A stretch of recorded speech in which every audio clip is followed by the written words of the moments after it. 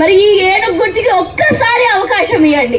పెద్దపల్లి మండలం నిట్టూరు గ్రామంలో మాదారపు ఆంజనేయరావు అనే వ్యక్తి నివాస గృహాల మధ్య నివసిస్తున్న నివాస గృహాల మధ్య నిర్మిస్తున్న రైస్ మిల్ నిర్మాణ పనులను వెంటనే నిలిపివేయాలంటూ మాజీ సర్పంచ్ ఆకుల శ్రీనివాస్ గ్రామస్తులు ఎండి గౌస్ల ఆధ్వర్యంలో దాదాపు రెండు వందల మంది గ్రామస్తులు రహదారిపై రాస్తారోకో నిర్వహించారు. సమాచారం అందుకున్న పెద్దపల్లి ఎస్ఐ మహేందర్ తన సిబ్బందితో అక్కడికి చేరుకొని ఎన్నికల కోడ్ అమల్లో ఉన్నందున ఆందోళనలు చేపట్టరాదు అంటూ గ్రామస్తులకు సర్ది చెప్పి ఆందోళన విరమింపజేశారు. అనంతరం ట్రాఫిక్ క్లియర్ చేశారు.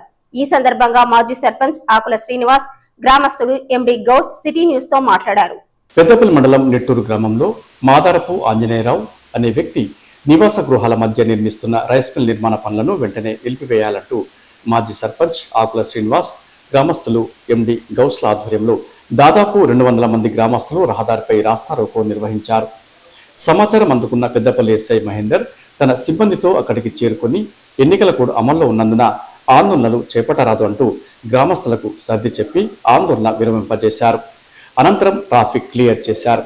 ఈ సందర్భంగా మాజీ సర్పంచ్ ఆకుల శ్రీనివాస్ గ్రామస్తుడు ఎండి గౌస్ సిటీ న్యూస్తో మాట్లాడుతూ నిట్టూరు గ్రామంలో మాదారపు ఆంజనేయరావు అనే వ్యక్తి నివాస గృహాలలో నిర్మిస్తున్న రైస్ మిల్లు నిర్మాణ పనులను వెంటనే నిలుపుదల చేయించాలంటూ ఈ రోజు తాము రహదారిపై రాస్తారోకో నిర్వహించడం జరిగిందని తెలిపారు.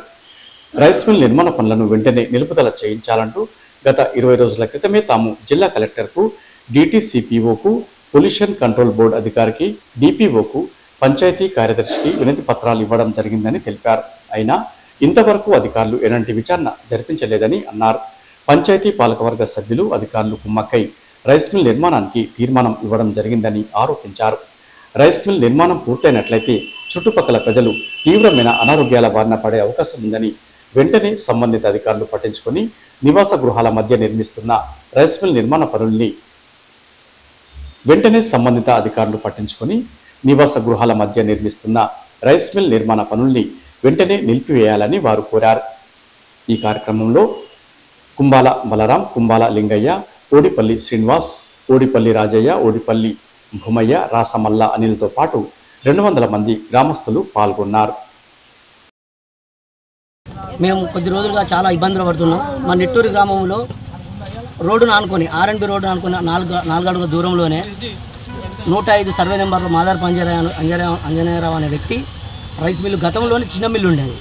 దాంతో ఆ చుట్టుపక్కల ఉన్న నివాసులు చాలా ఇబ్బంది గురి అవుతున్న సందర్భంలో ఇంతకుముందు ఉన్న గ్రామ సభలో కూడా విన్నవించుకోవడం జరిగింది.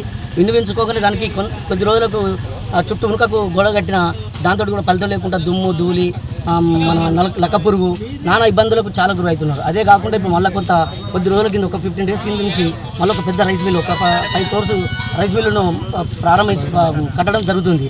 దానికోసమని మేము ముందుగానే గ్రామ పంచాయతీలో వినమించుకున్నాం సెక్రటరీ గారికి అదేవిధంగా కలెక్టర్ గారికి డిటిసిపిఓ గారికి మన డి పొల్యూషన్ కంట్రోల్ రూమ్ బోర్డుకి వీళ్ళందరికీ విన్నవించుకున్న. మాకు ఎట్లాంటి ఇప్పటి వరకు కూడా ఎట్లాంటి ఇంక్వైరీ రాకుండానే ఆ రైస్ మిల్లును ప్రారంభం జరుగుతూనే ఉంది.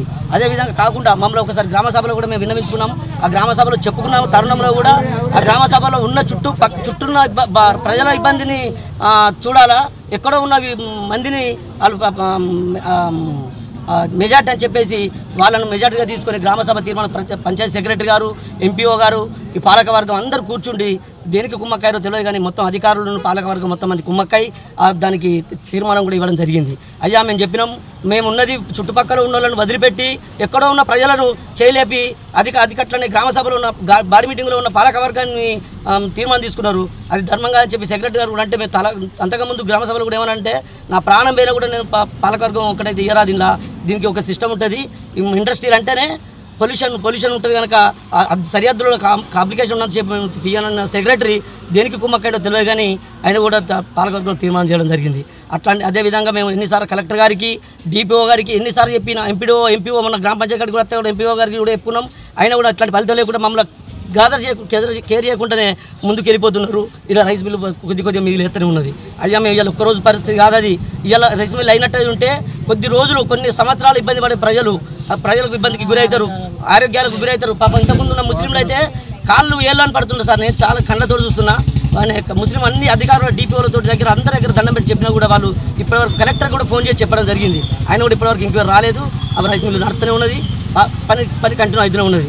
ఆయన మాకు ఆయన ఏం కావాలి ఇప్పుడు? ఇప్పుడు మాకు రైస్ మిల్లు ఆబ్జెక్షన్ చేసినాం.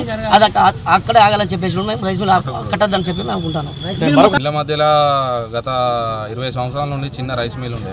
దాంతో మేము ఉనుక దానికి లక్క పురుగు తౌడు ఈ దుమ్ములు వేస్తుంటే ఒక ముప్పై కుటుంబాలకు ఇక్కడ చుట్టుపక్కల ఉన్న ముప్పై ముప్పై కుటుంబాలకు మాకు ఎంత బాధ కలిగినా కానీ మా ఊర్లో ఉన్న సర్పంచి ఉప సర్పంచి వార్డు మెంబర్ కార్యదర్శి ఒక గవర్నమెంట్ అధికారి ఆయన.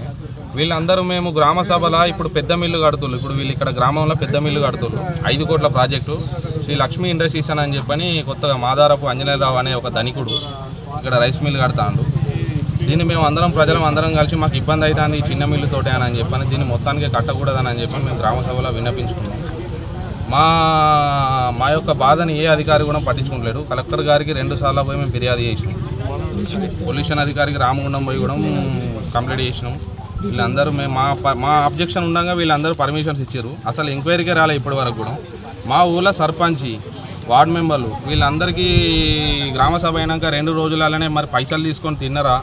మరి ప్రజల్ని మేము ఎంత రిక్వెస్ట్ చేసినా కానీ మేము ఇద్దరు పొత్తుల మనుషులం. మీరు ఏమన్నా కానీ మీరు మీరు ఏమన్నా చేసుకోరు అని అన్నట్టు పక్కకు జరిగిపోతాళ్ళు. మా సర్పంచి వైఖరి నడవడిక మొత్తానికి బాగాలేదు అసలు ప్రజలు ఏమైపోయినా సంబంధం లేదు. అని అని చెప్పనన్నట్టు నడుచుకుంటాను దయచేసి మీకు చెప్పేది ఏమన్నా అంటే పై అధికారులు అందరు వచ్చి మా దగ్గర ఉన్న సమస్యను పట్టించుకొని ఈ రైస్ మిల్ని మొత్తానికి కట్టకుండా ఇక్కడ నిలిపేవాళ్ళ నిలిపివేయాలని